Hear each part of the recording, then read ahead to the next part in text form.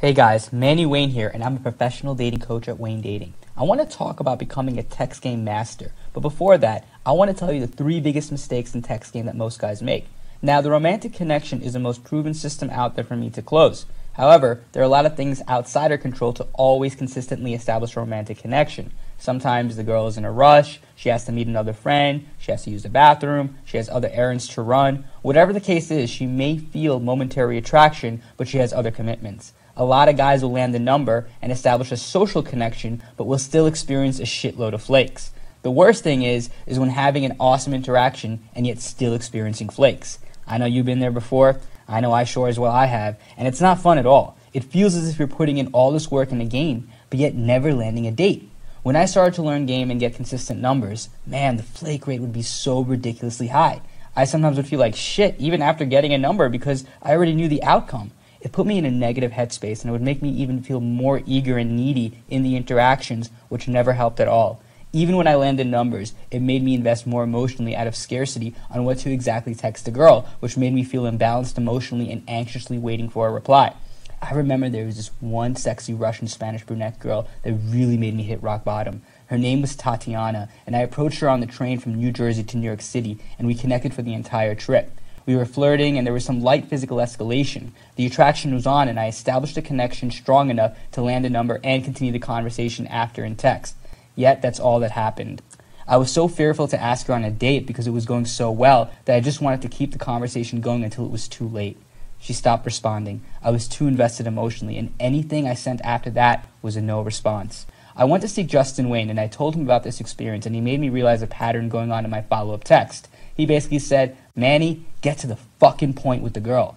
I realized I was continuously dragging on the text conversation without getting to the fucking point. This was happening with all the numbers I was getting. I was doing decent enough in the interaction, but my balls weren't big enough to schedule a date. I felt you had to say all this magical shit to land a date, but in reality, I was just overcomplicating the situation. After this experience, the next girl I met was at a lounge. Her name was Hillary, and we had instant attraction where I got the makeout and landed the number. And once again, I was falling into the pattern of dragging on the conversation.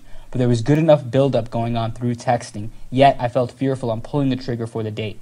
I went to meet Justin Wayne at Good Burger in Union Square, and I was telling him about this cute Spanish chick that I met, and he checked out the texting conversation. And Justin said to me, Manny, get to the point. He literally grabbed my phone and just simply texted her for me, What's your schedule like this week? I was super fearful on her response, but she simply responded the day she was free to meet up without any hesitation. My logistics were bad at that time, except for my parents' office. Justin advised me, Manny, you're gonna have to fuck her at your parents' office. And the craziest thing is, I ended up doing such a thing, and she was my fuck buddy for a good year after that. My logistics improved, and after that experience, it made me realize the three biggest mistakes that I was doing with my follow up text game. The first mistake was dragging on the conversation without getting to the point.